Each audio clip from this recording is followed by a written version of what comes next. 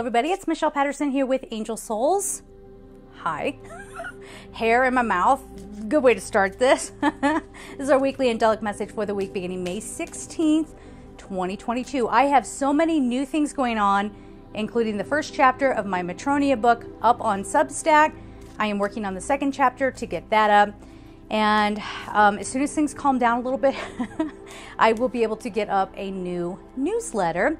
In addition to that, the Bright platform has invited me to be a part of their summer series. So, my part of that session, face to face live conversation, will be on June 6th, 9 p.m. Eastern, 6 p.m. Pacific. And we're going to be talking about raising our frequency, alignment, and setting our intentions to be able to manifest what we truly want in this world. Of course, you can get extra content at Patreon for just a dollar a month. And as always, I'm still offering personal readings, Angel Souls 444.com.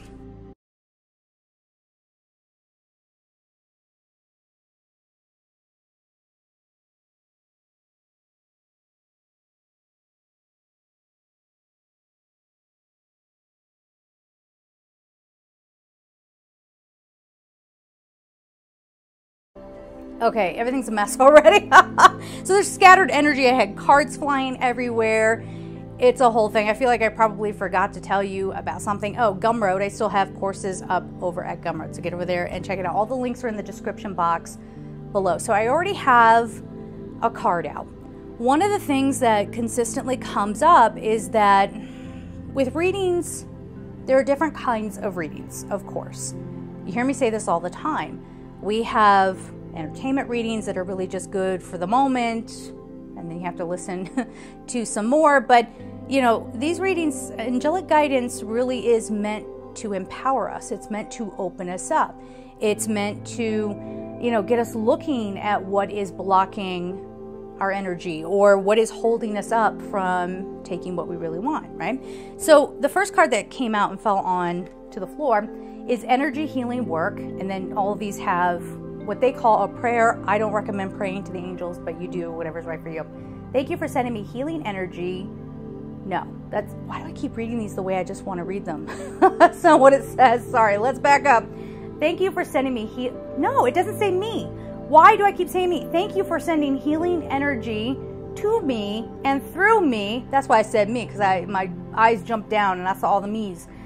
Whatever. Uh, from my own blessings and for all those around me. Thank you for connecting me to loving and high integrity healers and teachers of energy healing modalities.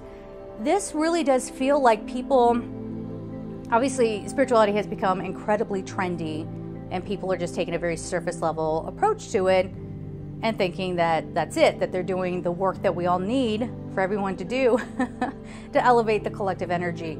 And this is saying we need to heal. This is the very reason why people have personality disorders. This is why people are suffering from mental illness because we're not careful with how we treat one another. We're not, you know, people are not getting the help that they need. So, spiritually speaking, I'm not a professional, I'm not a psychologist or a therapist or anything like that. If you feel like you need a therapist, please check with an expert. Um, but spiritually speaking, there's a message here that people think they're doing the work, but they're just going through the motions. And so nothing's happening. And it's having some sort of detrimental effect. Not only is it like not authentic and it's not really happening, but it's getting people into trouble. So it has this feeling of, I just dropped another card. I'm telling you, the energy is a little chaotic here.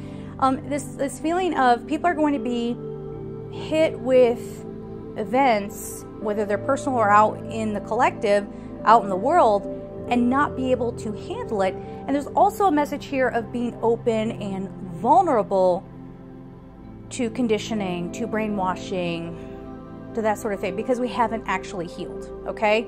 Hold on, let me get this card. What do we have? Oh, I think we had this last week. Your inner guidance is real and trustworthy. See, again, heal so that you can hear your own guidance. Yes. Please help me clearly hear, see, feel, and know the divine guidance that I have asked and prayed for. Allow me to keep my ego out of the way. There it is. Keep the ego out of the way so your wisdom can come streaming through me for my own benefit and for those around me. Yeah, I don't know. We have gone sliding backwards in our spiritual progress. And, you know, it was it's been a hard few years. There's still a lot going on in the world and there's going to be more to come. And I think what we're getting the message of is that we're not equipped for what is to come. And this really is make or break time. So if we are not really doing the spiritual work, if we are not really we're just going through the motions, right? If we say, no, no, no, I'm better, I'm better, I'm different now, and yet you're still someone who wants to cheat on people, or you're still somebody who wants to be competitive, you still want everyone to admire you the most, you know, these are all ego things. That's different from I want to be successful so that I can take care of myself, right? Just to make it clear, that's not a bad thing to want to have abundance and prosperity. But when you genuinely think, if you can't see the equality in people and you genuinely think that you are better than others, perhaps because you have more money, perhaps because you have more privilege, or whatever the deal may be, this is, we're coming up on a time where, shall we call it karma? Something's getting delivered here, okay? And yeah, I mean like bad karma. I'm not talking about the good stuff. I'm talking about people really having a big wake up call. Okay, so just keep that in mind. Keep your eyes on your targeted intention. We can only set our intentions from a clear and healed space. Thank you, Archangel Michael, for helping me focus on my inner vision and intention. I ask for your guidance in releasing any fears or doubts. That's a big one, too. That's part of the ego getting involved. Grant me the confidence and courage to take action toward realizing my dreams. Yeah. I feel like a lot of people are going to be shifting course here. And uh, that's going to be really uncomfortable for a lot of people. And I'm I'm getting a lot of messages. There. All right, I'm hearing the word crisis. Okay, so that can mean a lot of different things, but I'm feeling like I don't know, like unemployment rates might start to go up again. Our systems are broken. They've been broken, but now the cracks are too big to overlook anymore. So, why do I feel like there's going to be another round of. I don't. Uh, what I'm going to say is people are going to have a hard time finding work. I don't know if it's like a shut. I'm trying to pinpoint what this is because I don't want to give, you know, just my interpretation of it and plant seeds of suggestion to put fear in people. That's not, that's not what I want. We're more resilient now than ever. So if anything like that should occur, um, we're prepared for it. there are construction projects going on all around my home, and I had to stay in for you know most of that because there's I mean there's really nowhere to go. You can't go outside, uh, and it's so loud and what have you. So I have become an expert at cozying up at home and making the most of it. I bet you have too, right? And that's why I'm recording this really late at night because they have gone home, and now I can actually do this. Um, so we are resilient. We will work our way around it. There's going to be, I just want to call it a wake up call. Like this whole, you know, everything that's happened in the past few years was meant to wake us up and for us to get our priorities straight. What ended up happening, people short circuited. And it wasn't just, you know, trying to hoard things, but look at YouTube. What kind of reading started to become very, very prevalent during that time? ones that feed on your insecurities and fear. What you need to be aware of. You know, and it's it's time for us to really realize that. What do we gravitate towards? Do we want instant gratification or do we truly want to transform? Yeah, transformation is hard. I'm trying to do it every day. And a lot of times I fail. And I just have to wake up the next day and try again, you know? and none of us are perfect. We're all in this together. I need to wake up. We need to stop overlooking bad behavior or making excuses for it. Um, and then there's the overcorrecting where people just hate just to hate or always playing victim, you know, all that thing that we talk about all the time. And Archangel Michael is coming in here and saying, get the clarity, cut away the nonsense reboot, right? Reboot and get rid of the old programming. Now, for everybody, that might be something different. If you grew up in a very rough household as a child, for example, or, um, you know, God forbid, but you're going to have a certain way of thinking. You're going to have a certain way of perceiving things. And, you know, instead of taking it out on everybody and maybe getting involved in things that are not good for you or good for others because you think, what's the point? May as well. There's a whole other existence beyond the physical here. What's the point? That's the point. Don't allow this physical existence to drag you down so much that you lose touch with who you really are, right? Just because density consciousness things are not going the way that you would like, number one, it doesn't mean that they can't improve, but there is your whole collective soul to consider, right? And to remember that this is just one storyline, okay? You, you don't have to. Um, give up on the whole because this one iteration of your soul maybe isn't going as planned, or you think it's not going as planned, but really it is. okay, so then we have you and your loved ones are safe. See, we are acting out of fear. Acting out of fear. And it says, Dear God and Archangel Michael, thank you for watching over me and my loved ones. And you can name your loved ones. Please help me feel secure and at peace and fill me with faith so that I may focus on my priorities and enjoy a healthful, happy life. This is what we're working towards trying to be healthier. Yeah, I'm hearing path to power. A lot of people are taking all these different paths to power. This would be that kind of thing where people who are trying to be too controlling, it's going to fall apart for you. it's not going to be great. Um, people are waking up to, yeah, they're saying control structures. Um, whether that's in your personal life or out in the world. Uh, people are going to start fighting back. They're going to start standing up. And I'm not talking like. I, I'm, I'm sorry, I'm just trying to interpret what's coming up here because it's like the people are standing up. I'm not in any way, shape, or form encouraging people to act stupid. Okay, and stupid is like, don't do anything illegal. Okay, no, no, no, no, no. That's not what we're doing here. But people are starting to point it out and say, hey, that's not that's not cool. You know like hey there's so many we, we've gotten lulled into this sense of everything will be more peaceful if we just don't stir it up if we just don't speak up if we just allow it to be it'll work itself out. No it's not okay? If it was to do that i would have done that by now. It's a hot stinky mess okay? So we need to start with ourselves. Really what it's to be this week, I think, and what's going to happen for a lot of us as individuals. It might be one of those things where you wake up in the morning and you go, because something, some memory gets unlocked, or something, maybe that's a problem in your life right now. You have the clarity of Archangel Michael coming through, cutting through the nonsense, and it's right there. It may not be what you want to see, um, I'm getting a sick feeling. So for some people, it might be please get with a therapist if you need to. It could be um, abuse or trauma or something that comes up. And for others, it's sort of like waking up and going, uh, I don't need to be controlled by this. Or some of you might get some of your most brilliant ideas at this time. Run with it, okay?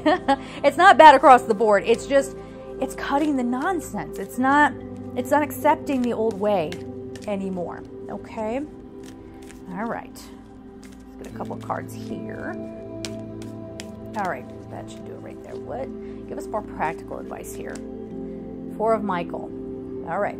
So this is the give it a rest already. So that's what I'm talking about. Like you get this kind of moment of I've been heading in the wrong direction, or the direction I was in served me for who I was back then, but I've come through a lesson or I've transformed or the world is different now. Do you really want to do the same work? Do you, I mean, I don't know. For me, during the pandemic, I really wanted to settle down suddenly. I think I have some astrological transits that are feeding into that too, into my blueprint. But um, suddenly I was like, you know, I've always been that person that didn't want to commit to a city you know, anything. I just, I need my freedom, you know. But now I'm like, no, it could be worth it to be a part of a community and not feel like I always have one foot out of the state, right? or, you know, to settle down and, you know, whatever, whatever. I'm still defining what security and stability means to me. You know, what does that look like? So that is the type of thing I think that's cracking open right now. And what the Four of Michael is telling us is that we'll get more clarity from the Epiphany. If you lay low, don't keep pushing on things. Use this week to meditate. These are actually timeless readings, so if you're seeing it not in the week that it was released, it's for you, right? So it's time to slow down, meditate, and I think some of you are going to realize I don't know. Some some people watching this may have had a chip on their shoulder about a love partner. That love partner is never going to leave me. Surprise. Uh, I would never get fired from this job. I've been here forever. Surprise. Okay, I'm not saying people are going to get fired or break up. I mean, some people might, but where have you been a little pompous? Where have you thought, like, there's no knocking me down? I'm doing great. Um, for some of you, this is kind of funny. You thought you would never gain weight, and then you step on it because you've always been really, really thin and trim and all. Like, trim is, why do I feel like that's such a 1980s term? Yeah, it feels like an 80s term. Sorry about it. Anyway, I've been so trim, and now you're putting on weight, or whatever. I could go on and on. So, rest, the messaging that's coming through for you, sit with it and see where you need to go with it. It says, insights that come from quiet meditation, the need for more sleep, or time off, seek relief from stress. So, again, there could be factors, things happening that could be affecting the industry that you work in could be turning the tables, could be changing things a little bit here. And just rushing ahead and trying to fix it, it's not going to do. that's, that's not the gig, okay? We have to you have to heal. It is that energy healing work. You know, don't forget about that part of you. If you take care of your mental, your mental, emotional, and physical body, you need to take care of your spiritual self too. And take it when I say take it seriously, don't just pick up a book on manifestation and say, oh, this is it. It feels so magical, and you're getting a little bit of a hit, uh, a high, a spiritual high off of it, but you're not really doing anything to help evolve yourself or to find your light again and to contribute that light. We need that now. So, no more nonsense, right? Okay. Ace of Gabriel, co create the next chapter of your life. So we have a gift of passion, opportunity, and inspiration, the chance to do something amazing, a sense of wonder. I don't think I said this at the beginning of the video, but I'm coming up with a whole Archangel series on Bright. And you're gonna, if you sign up for it, you're gonna be sitting with me, an angel medium, and we're gonna go through a meditation and connect with archangels together. Okay, unless, I mean, unless there's some technicality why we can't do that. But if that should change, I will let you know. But right now, the plan is to have an Archangel series. We connect with the Archangels with me, guiding you. We do this together. You have your experience, and then we can talk about it. Okay, so if you're interested in that, when it is, you know, up and on sale, I will have the link in the description box. But this says a gift of passion, opportunity, and inspiration, the chance to do something amazing, a sense of wonder. It's time to look at things differently. What are your real priorities? I'm telling you, this could be depends on who you are and depends on how deep in your ego you are. If you are somebody who thrives off of shallow things, this is going to be a rough time for you. You're not going to understand what the world is turning into.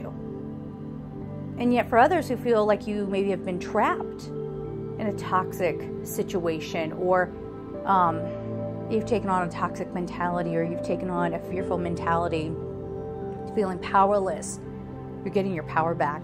And that is amazing you are co creating the next chapter of your life. That's what Gabriel helps you do. This is also about conception, right? So if you're not looking to get pregnant, um, just just remember that. Uh, or this could be a creative project that really starts taking off. But how does it? You don't push on it. You rest first. You're doing your healing, do your spiritual work, doing your spiritual practice. And if you are, you know, if you just have a way of doing things, maybe try something new and then come back to manifesting, setting your intentions with a fresh perspective, a fresh, open heart, right? Or, um, you know, if you are just maybe you can't find your peace, that once you do that, once you give yourself a chance to relax on that, that's when doors open and you can find the next step forward. Okay. Let's see here. I'm starting to lose my voice a little bit, so sorry. it's, been kind of crazy. I will say though, I am still running ahead of schedule on personal readings. So again, angelsouls444.com if you would like one, an Akashic Records reading or an angelic reading. Ooh, there it is. It flew right out. And it is chocolate. Nourish your body and soul. The number is 13, reduces to 4, and that's what this is about as well. Gabriel's all about nurturing, okay? So take care of you. We are running on empty right now, and if we don't replenish ourselves, okay, and get grounded, do that toxicity clearing. And when you do an energy clearing, don't do it from the perspective of, oh my gosh, everybody else has dirtied my energy and I have to clean myself. How pretentious. Okay, no. Self righteous, the whole bit. I got opinions, okay? no, that's not what we're talking about here taking accountability for what you allow into your energetic field and saying, okay, I am choosing to change this. I am choosing to clear it away and not take on everybody else's stuff, but know that I create my own stuff as well. And I'm going to, you know, start moving forward and turning that corner. So we're going to leave it there. I'm sending you all so much love and take care.